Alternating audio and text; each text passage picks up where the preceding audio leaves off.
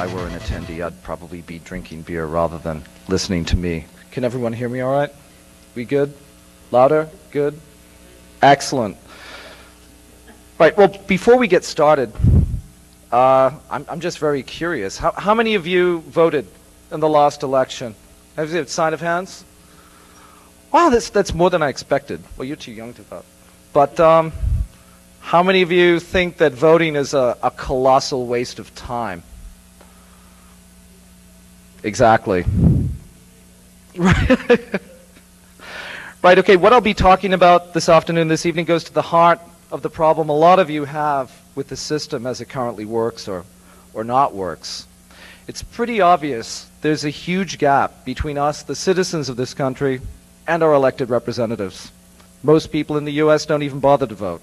Many of them, because they, like, like you, think it's a colossal waste of time. Politicians are bought and paid for by private industry. And they're the ones who are shaping the laws and making money off of the laws they just paid for to be passed. Companies are making millions, billions of dollars off of the USA Patriot Act, total information awareness or total terrorist awareness, CAPPS 2, and lots of other government programs that restrict or limit our constitutional rights. We, the people, get to have our tax dollars given to corporations that lobby and then profit from laws that hurt us and benefit their bottom line. So if corporations are the ones who run our country and not us, what can we do? We may not be able to change or influence government policy through voting or writing our congressmen. They're already bought and paid for by business. The only meaningful vote we have left is the one that we cast with our wallet. The best hope for political change comes every time we decide whether to buy something or not buy something. We vote with our wallets and our purses. We can indirectly change government policy by punishing companies who profit at the expense of our constitutional rights and freedoms. So in other words, we can't change government policy, but we can affect change by changing companies. We can use the glorious powers of capitalism to punish those who make money by selling out the Bill of Rights, and we can hopefully make America suck just a little less. And collaborators must be made to pay a price. The punishing of collaborators is a very old concept, and, and after World War II in France, women had their heads shaved for sleeping with the enemy. In our own country, not too long ago, being tarred and feathered was the price you'd pay for selling out our revolution. And frankly, as it's now illegal to tar and feather an otherwise deserving CEO or, or corporate management team, we're left with basically two major weapons at our disposal. One of them, public humiliation, and the other is simply denying them custom. Now, I used both of these weapons pretty effectively this year in a successful attempt to at least temporarily stop CAPPS 2. Now, if any of you read the newspaper today, and I'm sure you're all avid newspaper readers, you probably saw the headline in the local paper about changes to CAPPS 2. Uh, it just happened yesterday and today. I was on a road trip, and I'll address some of the changes that have been made towards the end of my presentation. But if you don't know what CAPPS 2, let me give you a brief overview. It stands for Computer Assisted Passenger Profiling System. And as originally planned, they were going to be running credit checks, banking record checks, and criminal background checks to determine whether you had the right to get on an airplane or not, and determine whether you were a terrorist or a fine Ashcroft American. They were even going to color code you. They wanted red for, for evil godless terrorists, yellow for people uh, in need for just an extra cavity check, and green for people who, you know, did the right thing and voted Republican. Now, as originally planned, we didn't know how they were determining this, what they were doing with the information, and how the whole program was going to roll out. We didn't know whether having bad credit was going to make you a terrorist, whether having an unpaid parking ticket was going to color code you red. But the goal, as originally stated by TSA through Homeland Security, was to have the CAPPS 2 system deployed in all U.S. airports by March of 2004. Lockheed Martin was awarded the contract to build it, and Delta Airlines volunteered to test it. Now, as you can imagine, the idea of being asked for zip papers every time I wanted to travel in my own country did not amuse me at all. I'm not a lawyer, but I think I know a violation of the Constitution when I see one. When you see your own country taking the nonstop on Flight 1984, you basically have two choices. You can either go out shopping for another country, or you can stick around and fight. So I ranted and raved to pretty much anyone I had in speed dial for a few hours, and I decided to, to do something about it. And that, of course, was to start a boycott against Delta. There are several reasons why I looked at, at Delta Airlines as the primary target. First of all, you, you, you can't sell your shares in the Transportation Security Administration. Fighting City Hall or the government is difficult, if not impossible. Lockheed Martin, the people that were building out the system, didn't have any consumer goods that I was aware of that I could go out and purchase down at, at Walmart. And Delta was on its own testing this program. And, and nowadays, now more than ever, the executive branch is very, very, very sensitive indeed to, uh, to the needs and desires of, of corporations and, and corporate pressure. So the idea was by applying, uh, by applying market pressure to Delta being the best way to stop CAPPS 2. A Delta boycott punished them for collaborating as a tester because it was the only airline to do so. By making the test fail, the idea was that we could kill off the entire program. I first read about CAPPS 2 in an AP Wire story that came out on the 28th of February of this year, and by Monday morning, uh, due to the help of Mr. Paul Holman here, who's kind enough to flip my PowerPoint presentation, Boycott Delta was on the air. The website was up and running. And uh, I thought it was only fair that I contact Delta's stock analysts to inform them what was going on. And by the end of day one, the first media story was out and Delta stock was down. The following week, a story attacking Delta in the New York Times. The, the headline was beautiful. It read, Safer Skies or Welcome to 1984. Uh, so enraged Delta's CEO, Mr. Leon Mullin, Leo Mullin that uh, he hopped on a plane to D.C. and demanded that the TSA pull Delta's fat from the fire. The media onslaught against Delta and CAPPS 2 went from zero before the boycott to appearances on CNN, NPR, in every major daily newspaper in the country. In all, over $27 million worth of negative publicity rained down on Delta. I received over 8,000 emails, the emails ran pretty much 80% thinking that I was wonderful and 20% suggesting that I relocate to Baghdad. Um, but bottom line was is that as other airline stocks went up, Delta's went down. Now, the most important role played by the boycott Delta movement as the, the unreasonable group in the whole CAPPS 2 debate was that it made it possible for, for more reasonable groups to be heard. As I was busy playing Malcolm X, Martin Luther King, in the guise of the EFF, CDT, ACLU, EPIC, and other groups, started looking better than ever. They started to get their phone calls answered. TSA even set up a weekend conference to brief these groups on CAPPS 2. And needless to say, they walked away more skeptical than ever. Congress started investigating CAPPS 2.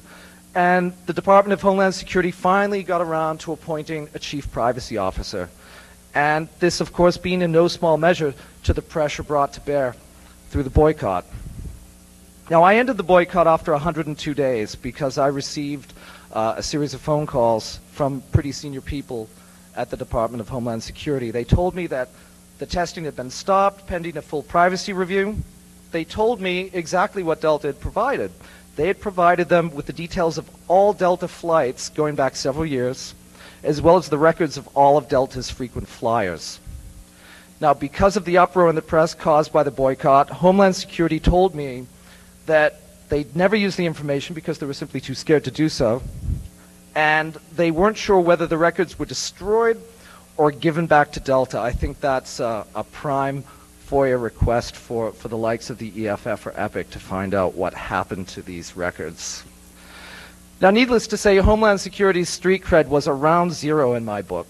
So I asked for all of this, as, as one would do with anyone you didn't trust. I asked for it in writing. And believe it or not, they, they did just that. And so I declared victory and went home. Now, CAPPS 2 might not be dead, but Congress has withheld all funding in 19, uh, for 2004. And CAPPS 2, as things look right now, has a plastic bag over its head and is suffocating. Now, this is not the first time that I've been involved in punishing a collaborator. Uh, those of you, how many people were here for DEF CON 9? Free Dimitri? This is Mr. Paul Holman again. Paul and I uh, got Dmitry Sklyarov out of DMCA jail and uh, did a pretty good job together with the EFF on the, the boycott Adobe movement. Now, I want to talk a little bit about what's been happening over the past couple of days. You can imagine the joy I felt after driving from Austin, Texas to Las Vegas, Nevada in a 1987 Chevrolet Caprice Classic former police car and arriving with a number of messages and emails telling me that the Transportation Security Administration and Homeland Security had come out with a new privacy policy that CAPPS 2 was going forward in terms of testing and a lot of people wanted to know my opinions on it. Well, first of all, I'm still doing a lot of research to find out exactly what's going on. Um, the good news is that uh, O'Connor Kelly, the, the privacy officer at Homeland Security, has also obviously been doing her job because Homeland Security has spelled out fairly clearly exactly what they're going to do in what we're calling CAPPS 2.2. Uh,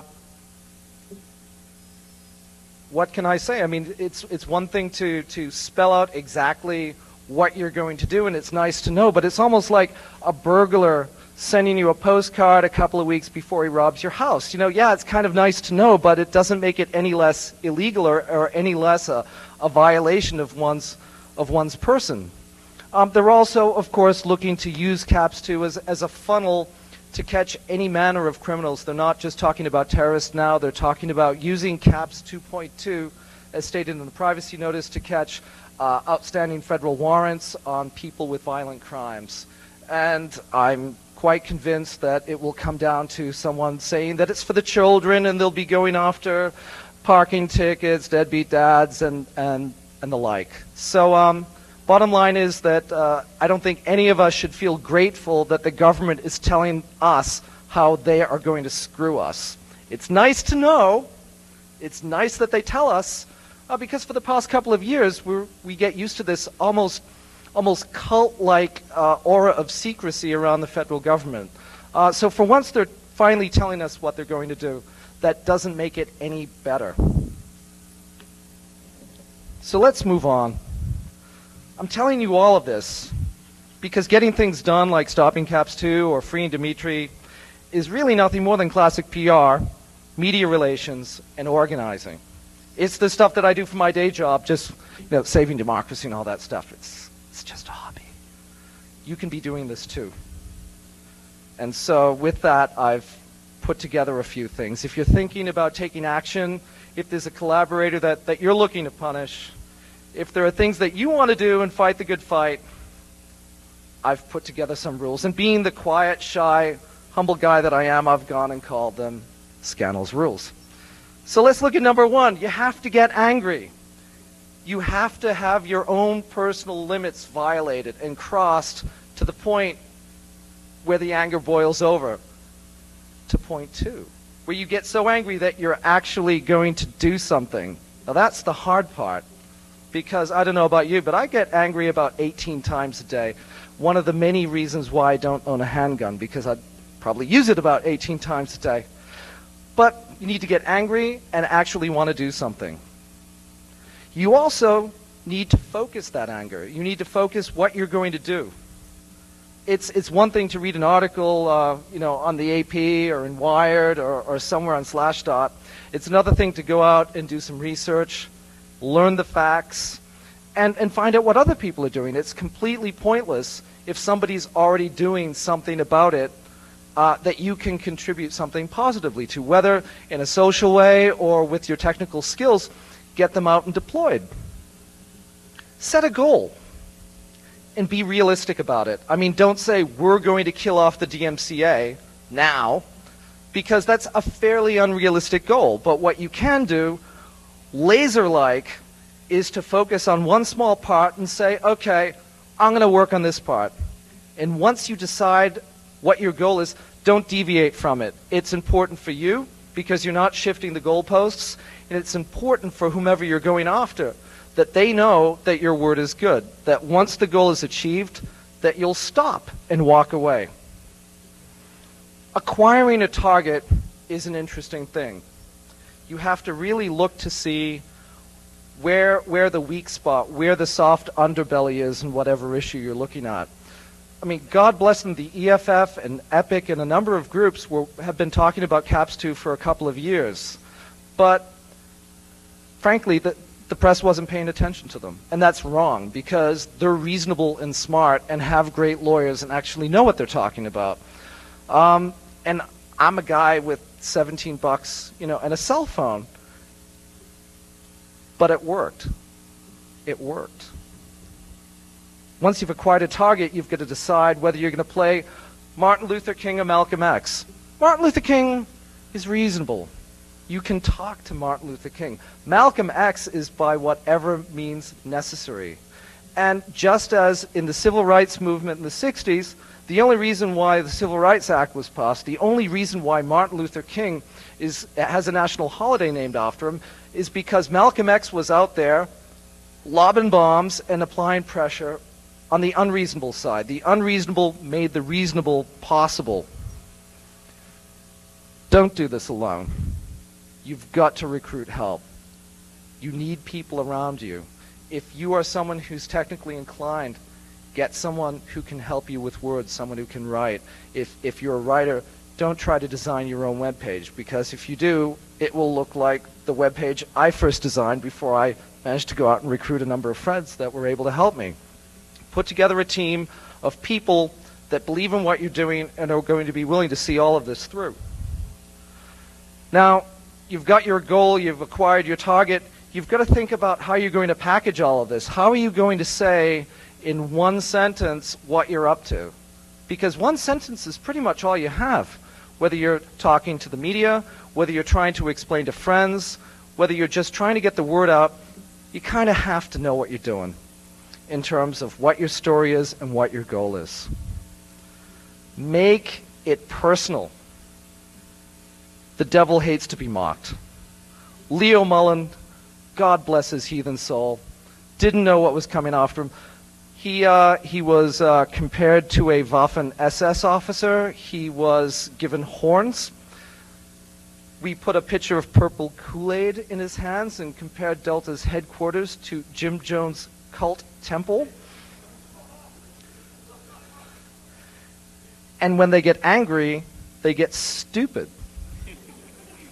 And, and the fact is, is that Delta brought a bag of checkers to a chess game and I cleaned their clock.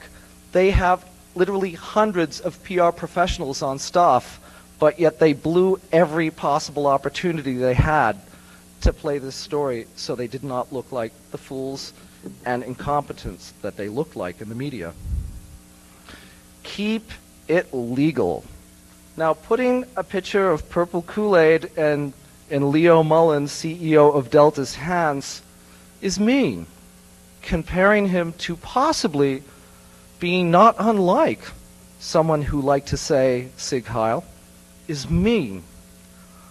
But we're protected by the First Amendment, at least up to now. Have your stuff legaled. I, I was very, very fortunate in, in having the EFF back me on this. The Electronic Frontier Foundation did an absolutely wonderful job in, in, in watching my back and making sure that I gave the bad guys absolutely no ammo to come after me legally. You've got to expect success. Plan on winning. Plan on getting noticed. Because there's nothing worse than coming up with a clever idea and a clever way to go after Dr. Evil and have your website crash on you or your phone's not, uh, not being returned because you forgot to pay your cell phone bill or any number of things. Be prepared with sufficient bandwidth, load balancing, all those wonderful things. Um, and, and have people on your team that understand what load balancing is. Otherwise, you're going to be in a world of trouble. Make sure also that you can be uh, gotten a hold of at any time of day or night because the world is not just the three time zones in America, it's 24 time zones around the world. And I cannot tell you how many times I was woken up by callers in Australia, by journalists in Australia on deadline, in the UK, Germany, even Russia. Pravda wrote a wonderful editorial about CAPPS too, um, talking about how they, they'd, they'd seen that bad movie before. Create your informational materials. Give other people ways of distributing your information. So having a web page with a lot of information in it is all fine and well. Um, but, but create, whether it be a brochure, whether it be a handout. We created a, uh, boarding passes for Boycott Delta that were mock-ups of a, of a Delta boarding pass for Flight 666 for an American citizen that, that warned people about what was happening to their information. Um, you need to create as many things as possible so people, people can find out what's going on. By creating these materials, you can get other people to take action. Now, for example, when we look at uh, Boycott Adobe, swarming technologies worked really, really well. That all of a sudden, Paul and I fired up this web page, and before we knew it, because we had allowed this to happen, there were people setting up free Dimitri groups all over the country. And, and while the EFF was inside negotiating, there were, there were, you know, literally thousands of geeks who hadn't seen sunlight in years outside holding up hammer and sickle logo parodies of, of Adobe. Make sure you talk with one voice. It's a time when, when you really need to have one chief and, and everyone coalescing around them. Um, pick one person within your group of, of people you put together and have that person be the, the spokesperson because otherwise you're going to be all over the place. Um, if there are things regarding strategy and whatnot that you need to think about, make sure that you talk about them beforehand rather than have your friends read about it in the paper the next day and say, my God, what have you just said? Allow for growth because it will grow. Again, with, with the boycott of, of Adobe, it grew very, very fast. Three people protesting in San Jose is nothing, but if three people are protesting in 20 cities around the country, well, you know that's a nationwide protest. By getting them where they least expect it, it works. Also, allow alliances to be formed. I had people calling me regarding the, the CAPPS 2 issue. I had people calling me from the Association of American Travel Executives. People who, who were road warriors who were absolutely terrified by the implications of CAPPS 2. Allow them to join you. Allow airline pilots, for example, in my situation, called me and I, I put their story out. Let people join your team. Don't be exclusive in that sense. Which brings us to the idea of credit. Just because you came up with the idea, just because you were the good boy or girl who came up with the idea, doesn't mean that you get all the prizes. Let other people take credit. A, a strong prince surrounds himself with, with strong princes. It makes the king even more powerful. So let other people take credit. The credit that you get will be known by the people that need to know. And most importantly, when all is said and done, when you've accomplished your goal, declare victory and go home. Take your dog for a walk. Clean your house. Go on vacation. Do what you have to do. But declare victory and walk away. Because there's nothing more annoying than, than an individual who gets on his horse and just doesn't know when to get off. So, that's where I'm coming from. I hope some of this has helped you, and let's open the floors to, to any questions you may have. I'll do my best to answer them.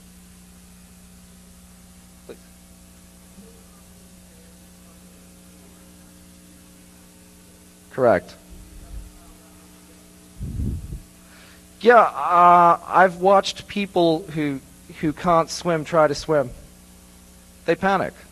Um, I see uh, Admiral Poindexter getting fired over his terrorism futures market, and two days later, a privacy notice coming out. So, um, yeah, they're they're trying to salvage what they can but the, the limits that Congress has put on them in order to get funding uh, reapproved, it's a pretty high, high, high level. And by my, my general reckoning, and I, I'll need to study it a bit more, um, at best they've made 50% of that bar, and I don't see them getting any higher by the end of the year.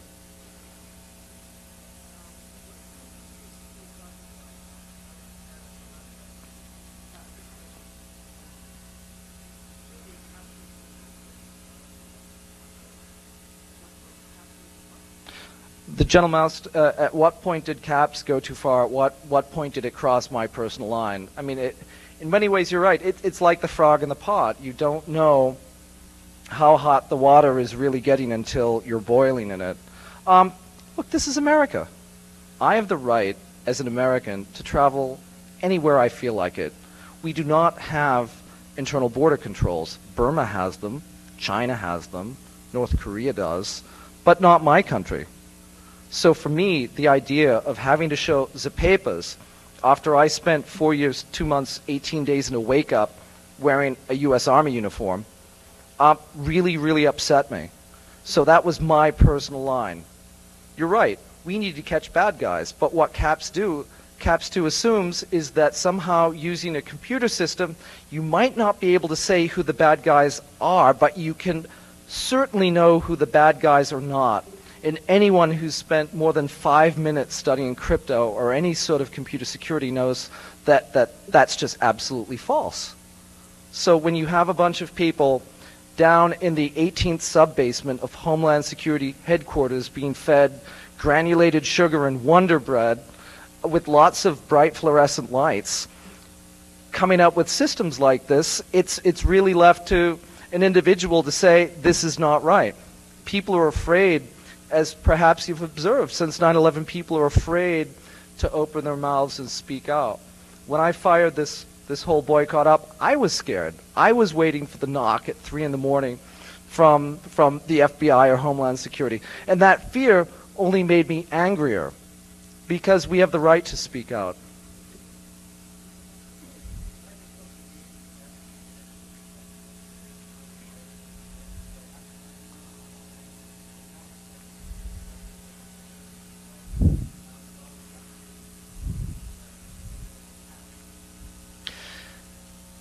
I do. I, I got 8,000 emails, and frankly, it wasn't until about a month ago that I actually got to read all of them. I, I tried my best on the website to, to take a selection of the letters that I was getting from people, but people are afraid. People are really scared. There is that, mommy, help me, protect me. I don't care if I have to fly naked, handcuffed, and cathetered. If that's going to make that plane get from A to B, God bless them all there are a lot of people who have that fear in them. There are also a lot of people who just find all of this unacceptable. There is this silent minority, or, or frankly, as far as I'm concerned, a silent majority of people who have kept their mouths shut because when you open it, you're against us. We, we have a, sure, we, we have, I worked as a journalist for over a decade and, and when I look at the, the, the, the, poor quality journalism that's coming out of the U.S. right now, um, in, in terms of looking at, at what our government is doing, the meekness of the media, and, and frankly, the meekness of, of individual citizens and their, their, their fear to speak out. It's, it's really quite depressing. I, I read a wonderful book a couple of months ago called Democracy in Dark Times, and the author quite rightly points out that democracy at, its finest is when an individual citizen stands up and says no more and tries to do something about it. Because the more individuals you have stepping forward and stating their opinion, it's only going to improve, a, improve society. You don't need to have a focus group for that. You know what's right and wrong. You have a moral compass. So use it. And don't stay quiet.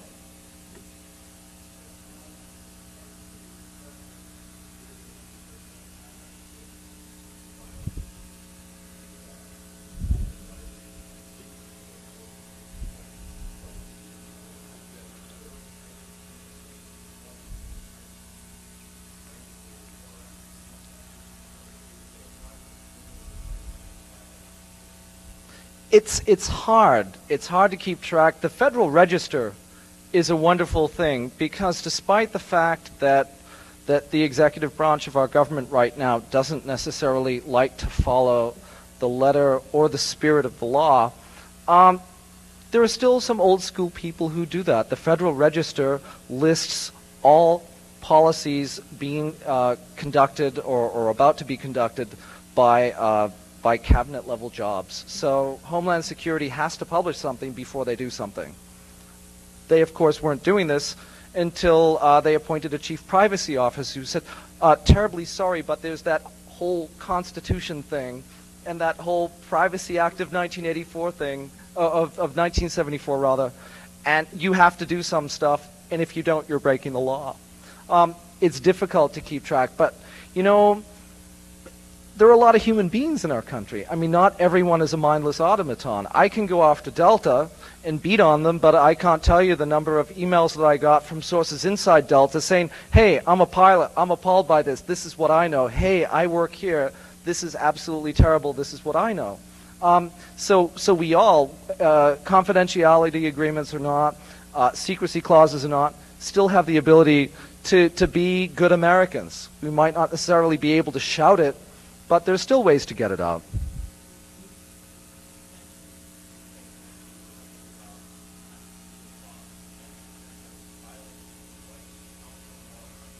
Mm-hmm. Sure.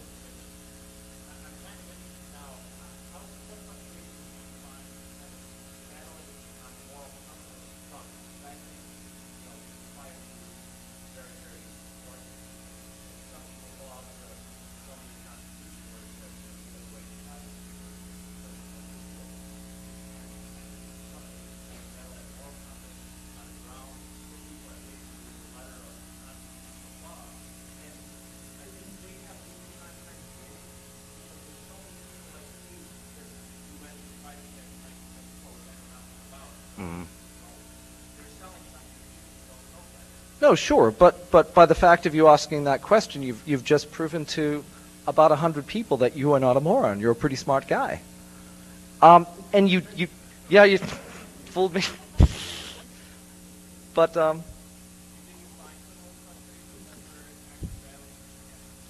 um, in a sense, sure. I mean, you can. I went to a Jesuit school, so I. I know very, very structured arguments. Sure, but, but the fact is, is that bottom line is we, we know what's right and wrong. We do. And, and we still have the right in our country to stand up and say what we think is right and what is wrong. Um, there is a right to privacy in the Constitution, at least according to Justice Wendy Seltzer. To the Constitution. It comes from the Fourth Amendment. I wanted to say William Brennan, but I'm not sure if he was the gentleman who spoke about uh, the right to privacy. You're right. It's it's not. I can't say yes. It's Article 14 because it's not. But it's implicit throughout the Constitution. And and again, we we know when something is wrong, and we can step forward. And you're right. You can you can either fight a, a legalistic argument with people or you can say, well, you know what? I might not be able to prove it, but I'm not going to spend any money on you. And once they feel that economic pain, they're going to start changing their tune. Sir.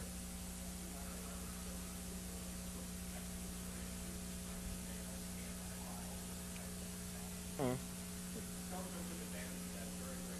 Yes.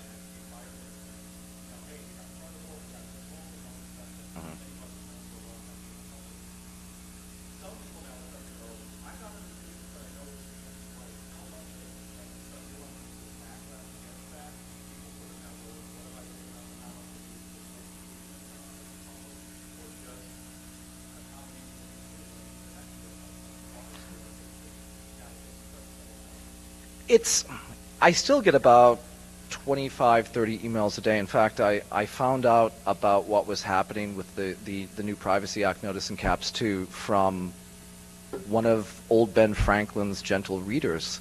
I, you know, turned on my email, 400 emails saying, Ben, do something.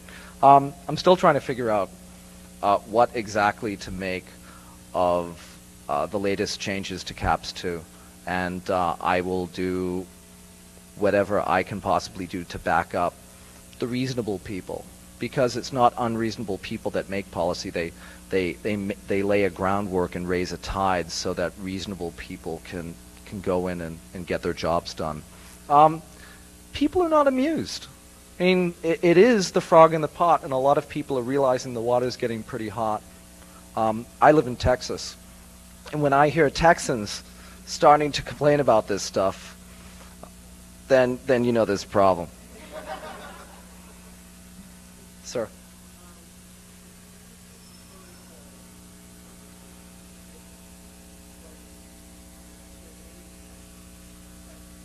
Their needs are my needs. They work for me. I am their employer.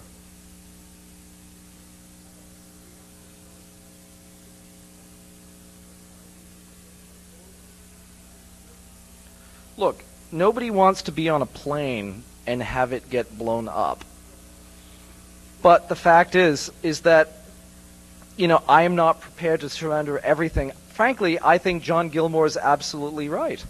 I don't see any reason whatsoever why I even need to show an ID to get on an airplane. As long as it's pretty clear that I, I don't have thermonuclear devices strapped to my back or, or, or an AK or I am just a general bad guy about to spontaneously combust, I think I should be able to fly from point A to point B. Now, what CAPPS 2.2 talks about is just this very issue. They're saying, oh, well, it's a terrorism catchment measure, but, you know, we can look for these other guys too. And it expands, and all of a sudden, you, you have a funnel in which the government is allowed to set up an internal border funnel people through and decide who are the bad guys and who are the good guys. Do I think murderers are good guys? No. Is a murderer who's totally unarmed, who wants to fly to Cleveland, is he a threat to me on an aircraft? No. Any other questions? Thank you very much for coming. Thank you for your time. Oh, oh, oh, oh, wait, wait, wait. I have one more announcement. So, there have been some rumors about the car, about the Bluemobile, and they're all true. So here's the deal. A few friends of mine and I, we bought a car at a police auction in Austin, Texas, painted a beautiful, beautiful 1987 Chevrolet Caprice Classic, a very fetching blue color. Got it inspected, threw some Texas plates on it, and we drove it here to Vegas uh, and it's a one way trip, ladies and gentlemen, because we're flying back home and we are raffling the car off. Only 170 tickets. We just want our money back. 170 tickets. The tickets cost 10 bucks each. this gentleman in the back, wave your hand, Thomas. If you want a ticket, and you know you want one, get these people as they leave, and if you don't get them, they'll, they'll get you. Thank you.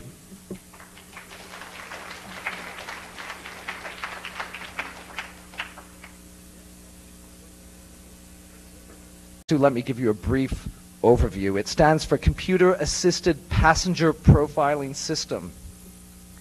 And as originally planned, they were going to be running credit checks, banking record checks, and criminal background checks to determine whether you had the right to get on an airplane or not, and determine whether you were a terrorist or a fine Ashcroft American.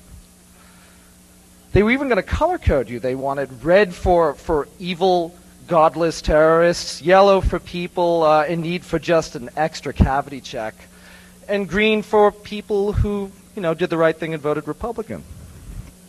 Now, as originally planned, we didn't know how they were determining this, what they were doing with the information, and how the whole program was going to roll out. We didn't know whether having bad credit was going to make you a terrorist, whether having an unpaid parking ticket was going to color code you red. But the goal, as originally stated by TSA through Homeland Security, was to have the CAPPS 2 system deployed in all U.S. airports by March of 2004. Lockheed Martin was awarded the contract to build it, and Delta Airlines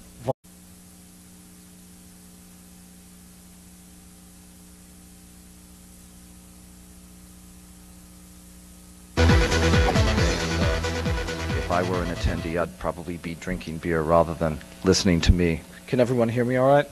We good? Louder? Good? Excellent.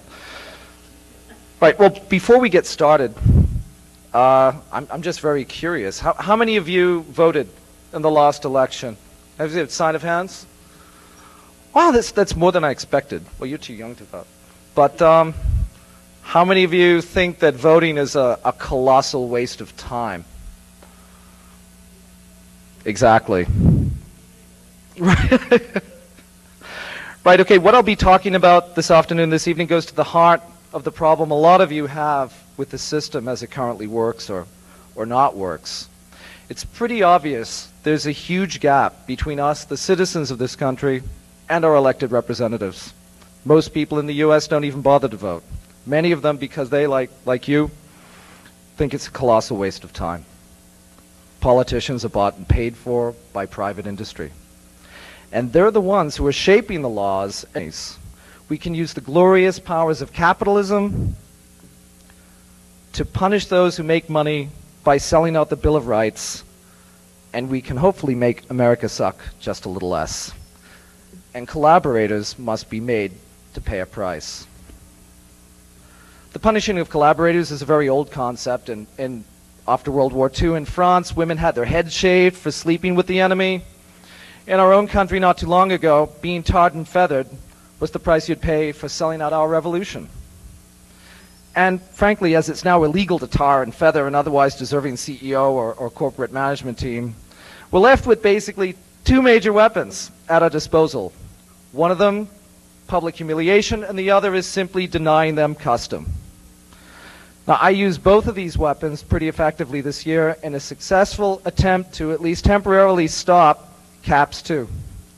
Now, if any of you read the newspaper today, and I'm sure you're all avid newspaper readers, you probably saw the headline in the local paper about changes to CAPPS 2.